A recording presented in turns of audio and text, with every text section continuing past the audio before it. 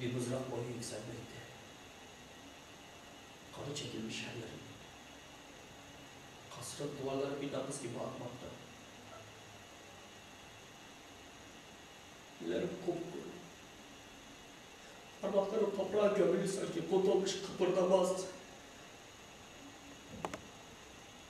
Ne talihsiz oğlan ben ana. Ne kara bir yazı yazılmış alnımın çatına ve de tetiği tutan şu kopasıca parmağıma. Şu koca bozkırda kaç adın yazmıştır anacanına kıymayı. Bu mümkünsüz içi kaç yürek yüklenmiştir. Yüzümde tüy bitmedi daha ana. Daha bıyığı mülk edilmeden ağlığı mülk edilmem. Yanlış hesap vardı bu iş. Ve de tetiği tutan şu kopasıca parmağımın kıblesinde ilk anlattım.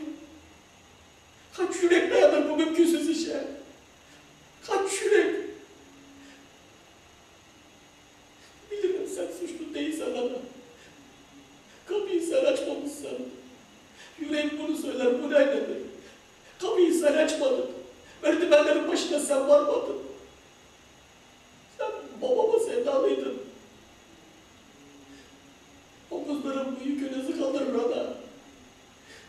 Senin de bana merhametin yoktur o kişiler gibi. Onlar da vur der, sen de vur dersin. Ya ben ne derim ana? Ya ben ne derim?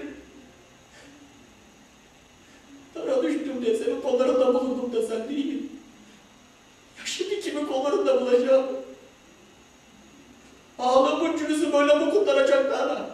Böyle mi oturacaktı bağlık minderine? Ben yorulmuşum ana. Aha bu günümde ben yorulmuşum, bitkim düşmüşüm. Hazır değilim ana.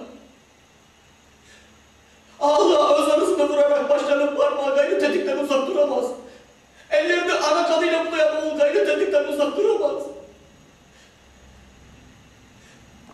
Ki ağlarım zorlu olacak ana. Kendimden yana bir dileğin yoktur. Söz ana, ağa sözü. Ne gözyaşından ne de ben mezarından mahrum kalacak canım bedenim.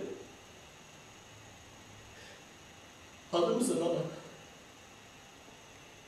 Hakkını helal et. Bağışlamak isterdim. Bahtıma ölüm düştü.